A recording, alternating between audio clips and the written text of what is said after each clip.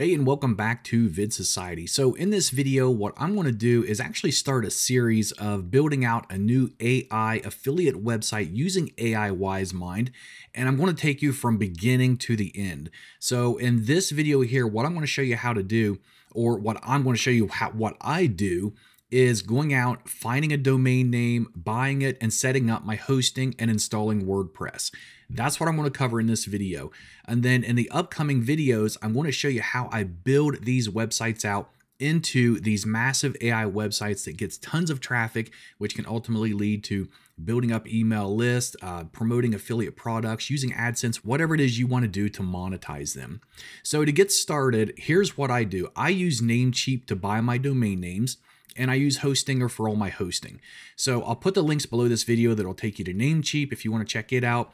So first things first, I've decided what I want to do is build a website based around a traveling location. And this is a very popular destination, especially on the East Coast of the United States, and that's Myrtle Beach. And so what I'm going to do is build a website around Myrtle Beach. I'm going to fill it up with questions that people ask, which are going to be pretty easy to rank for.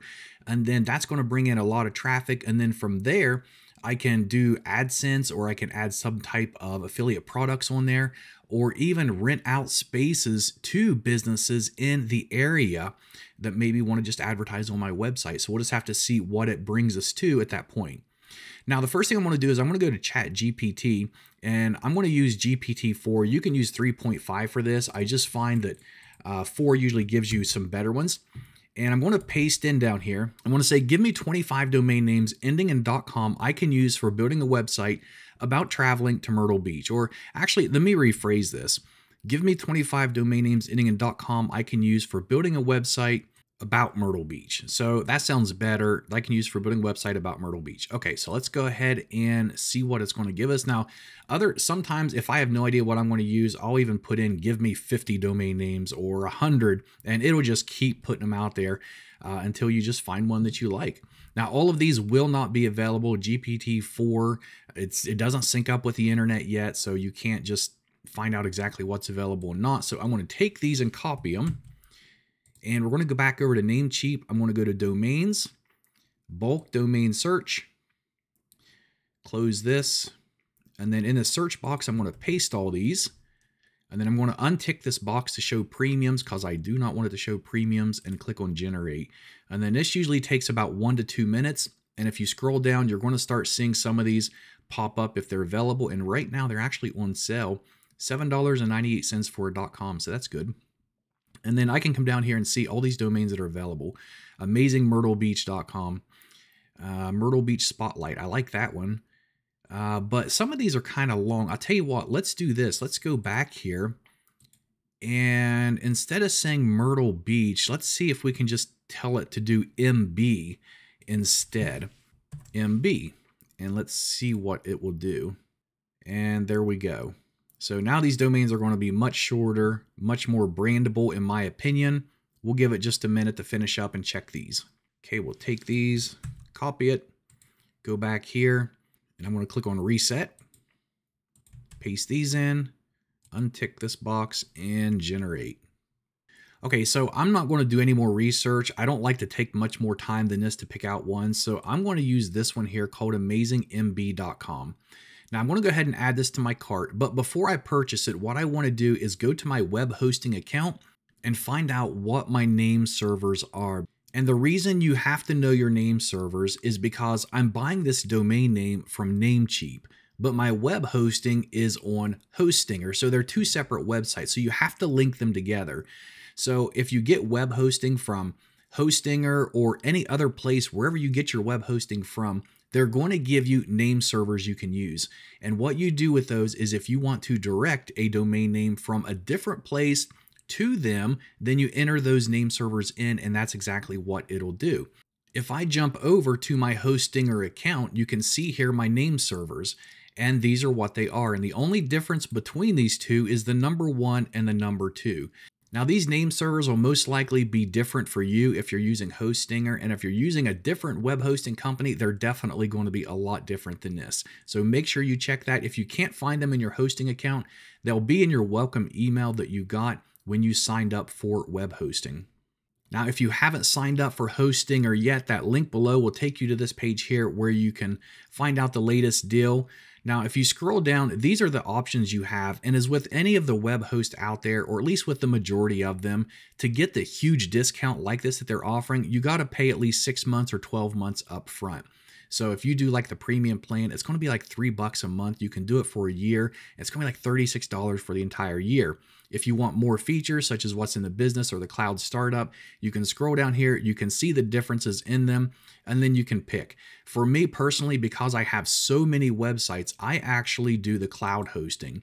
You do not have to do this cloud hosting if you're only planning on making a couple websites, five or 10. You don't need to do this. But if you want to build out like an empire of sites, you may want to go with something that's going to be a little more powerful, such as their cloud hosting. And if you scroll down, you're going to see here that these are their plans. I'm on the Cloud Enterprise account. This is what I'm currently subscribed to. But once again, if you're just starting out, just grab one of these plans. You can always upgrade later if you want to. As you're signing up for a hosting account, if you notice down here, it's also going to say free domain name. So you can actually get your domain name free if you haven't signed up for an account yet with Hostinger. As you're going through the process, it'll ask you what you want your domain name to be. You can enter it in, and then that's all you have to do. Since I'm using Namecheap to buy my domain name, I'm just going to go ahead and uh, process this checkout, and then I'm going to add my name servers in, and then I'll show you what happens next. Okay, so I just processed my order. You can see here, thank you for your purchase. Once again, guys, this is a brand new domain name. It's not an expired domain name. Remember that because a few videos down the road, when you see the results I'm going to be getting from this site, it's going to blow your mind. So what I'm going to do next is go over here and click on Manage. And so on this page, all you have to do is come down here to where it says name servers, and you're going to click this drop down box and you're going to pick custom DNS and you're going to paste in your name servers. And all I have to do is change that to a two and then click this checkbox so basically what I'm doing here is I'm just telling Namecheap, hey, look, I know that I bought my domain here, but I have hosting on Hostinger. So um, these are my DNS servers. I want you to send my domain toward that hosting account, and that's where I want it to use it.